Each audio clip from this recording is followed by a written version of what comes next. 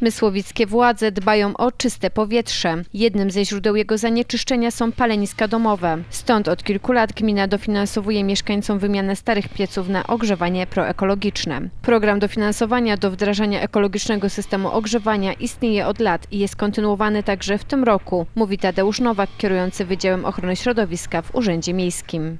W sumie mm, takie działania y, promocyjne dla zmiany systemów ogrzewania na lepsze, mniej y, trujące, y, to już jest proces dosyć długi w mieście, bo trwa od 2000 roku, od 99, przełom 99-2000. Były pierwsze wprowadzane dopłaty.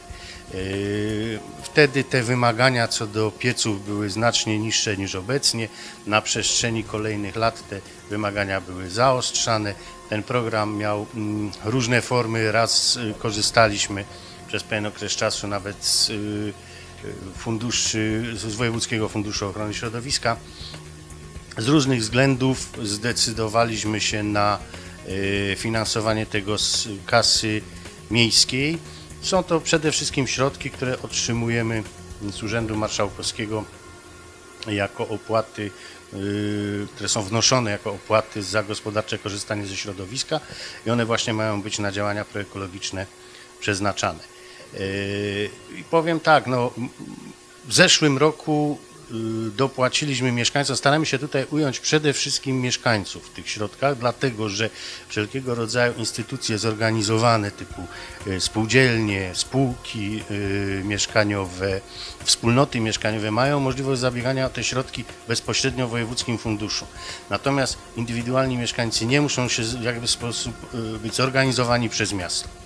Y, Powiem tylko tyle, że w 2016 roku y, łącznie y, zrealizowaliśmy 56 takich wniosków umi- y, o wymianę y, ogrzewania, z czego y, 27 to było na wymiana na ogrzewanie gazowe, y, 20, 22 y, wnioski dotyczyły zmiany na kotły węglowe ekologiczne, popularny ekogroszek, trzy piece elektryczne, dwa piece na biomasę, ale nie byle jakie takie kominki, które nie są w tej chwili popierane, tylko porządne, y, tam był pelet bodajże, z, y, czy ze wstępnym zgazowaniem i dwie pompy ciepła z tych odnawialnych źródeł energii.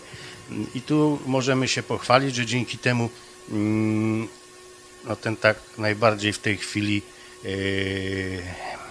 modny pył zawieszony udało się ograniczyć z 588 kg, które emitowały yy, w ciągu sezonu te, tak, te stare piece do 280, czyli yy, tak, więcej, więcej niż połowa. Y, Przy czym oczywiście nadal najgorsze to jest to paliwo węglowe, bo y, gaz czy, czy powiedzmy gaz czy biomasa praktycznie są wolne od emisji pyłu, to są znikome ułamki kilograma na sezon, no ale niestety, niestety nie wszystkich na to stać. Tak, ale poza tym, że mamy piece i, i mamy kominy w domach e, zamieszkałych przez mieszkańców miasta, e, w gminie mamy przykład jeszcze niechlubny, z którym trzeba się rozprawić?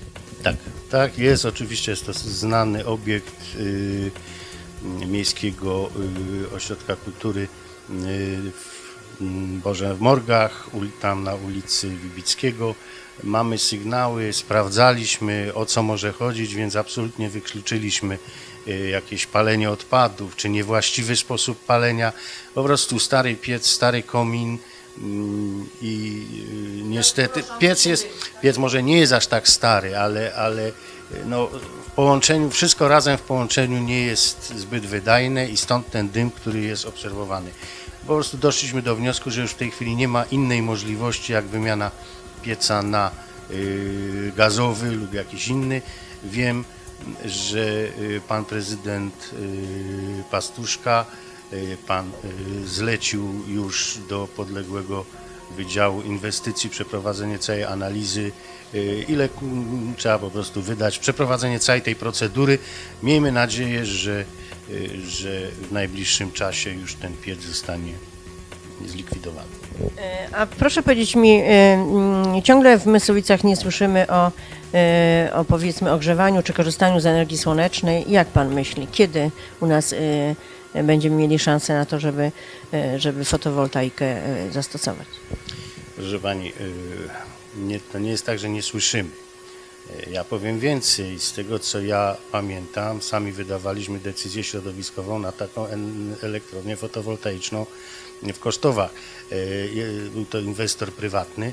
Mm, Nie wiem, mm, dlaczego ta inwestycja została w tej chwili wstrzymana, ale z tego, co słyszałem, było nawet wydane pozwolenie na budowę. Mm, Myślę, że, że to wcześniej czy później ruszy.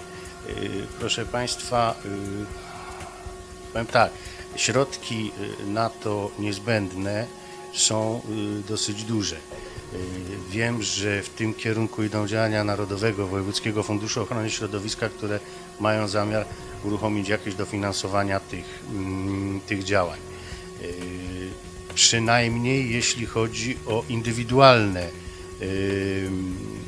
instalacje, tak, bo to jest ten słynny system prosument, czyli produkcja i konsumpcja energii. Yy, To wszystko powoli zaczyna wchodzić. My przyglądamy się temu, no i oczywiście jeśli będą jakieś inicjatywy, to będziemy je yy, wspierać.